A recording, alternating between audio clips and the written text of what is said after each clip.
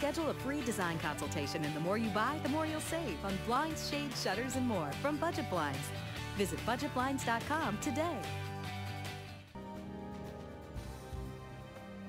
Good evening. A gunshot rang out early this morning after RCMP were trying to apprehend suspects wanted a connection with a break and enter at a liquor store. A spike belt was deployed at the intersection of Highway 16 and 40th Avenue in order to stop one of the two trucks involved. That's also when an officer's gun was discharged. It's not known if it was directed at the suspects. The first vehicle was recovered outside the city limits. A 20 year old man from Lloydminster and a 29 year old Onion Lake man have been arrested. The second vehicle was not found.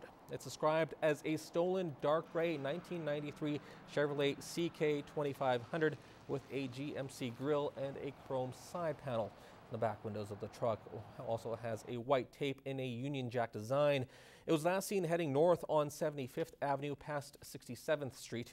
If you have any information on the robbery, you're asked to call Lloydminster RCMP at 780-808-8400 or Crime Stoppers. And a man accused of robbing eight banks in just two months is on the run. The RCMP are asking for the public's help identifying their suspect. He's seen here entering a bank in Lethbridge, Alberta. The alleged serial robber has held up several banks in the province as well as in Saskatchewan and BC. In each case, he's accused of pulling out a weapon and then fleeing on foot with the cash. Anyone with information is asked to contact police. Well, the time you'll need to wait to deal with minor problems will be reduced in 2015. $30,000 in the budget was allocated to provide peace officer training to current bylaw officers.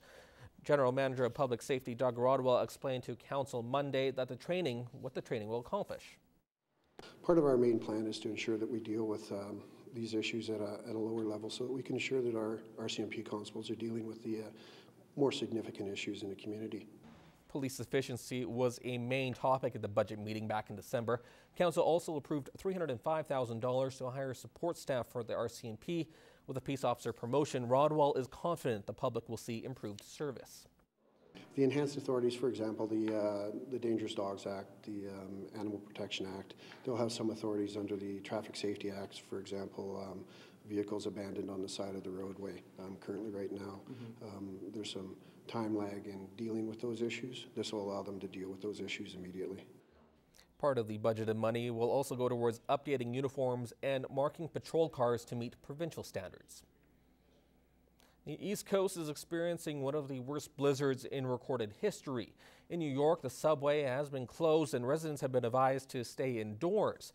Well, here in Lloydminster, a heavy amount of snow would not be as quite as devastating, but there are plenty of other reasons why the city reviews its disaster social services plan every year. Jeremy Thompson has more. You're probably prepared for household emergencies, a smoke detector in case of a fire, flashlights, candles, maybe some preserved food in case of a power outage. But what do you do if the emergency is citywide? I'm here with Emergency Management Coordinator Ann Danielson to find out. First of all, Ann, what constitutes a citywide emergency?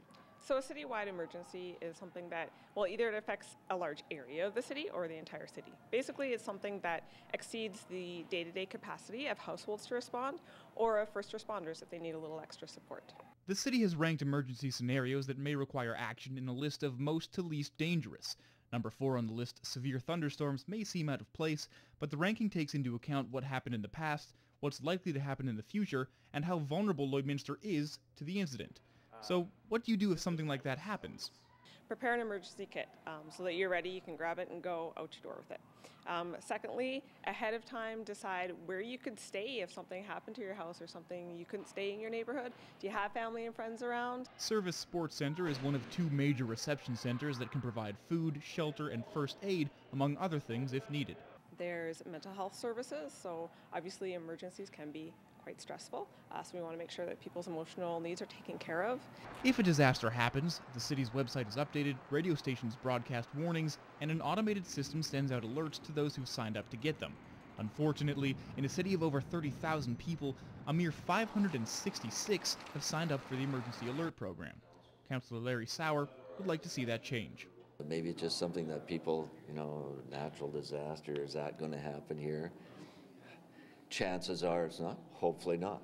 But but it is there, and it would be great if people uh, uh, became informed and did subscribe to that. If you'd like to sign up for the alerts, you can go to the city's website, lloydminster.ca, and click on Emergency Alert. From there, you can choose if you'd like to receive a phone call, text message, or email notification so you can be prepared if disaster strikes. Jeremy Thompson, Newcap News.